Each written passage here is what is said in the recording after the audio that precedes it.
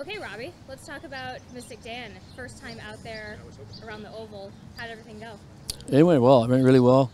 I thought uh, he was smooth. It was easy. Easy. Jogged one round. Got one round. He did it within himself. He more or less just figured out where he was, and he got confident as long as we went along there. There, there's a lot of commotion out there in the infield and around uh, around the track. Does he get bothered by that at all? Not at all. Not even the least. I mean, you can have a horse run right at him, it don't bother him whatsoever. Noises, sounds, doesn't bother him. He might be one of the smartest horses I've ever been on. Speaking about one of the smartest horses, let's dive into that a bit. What was the defining moment that where you said to yourself, "Hey, this is a top-notch horse"? Well, early on as a two-year-old, he was he was showing a lot of talent, or extremely amount of talent, and um, he's outworking everyone. Easy. He was doing everything within himself and easy. So we figured early on as a two-year-old, spring two-year-old, that he was going to be special, and he's and he's proven it. to. So.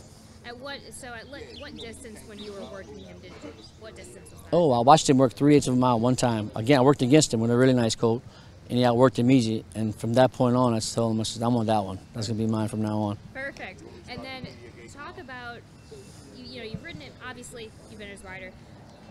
How he's come back from races previously versus the Derby. Has there been a, much of a difference?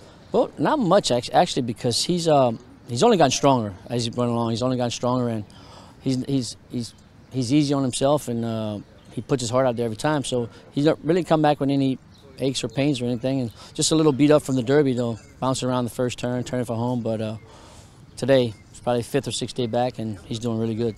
Okay, is that typical for him? Oh yeah, it's typical for him. That's typical for him. He's he's such a good horse, man. He's a solid horse.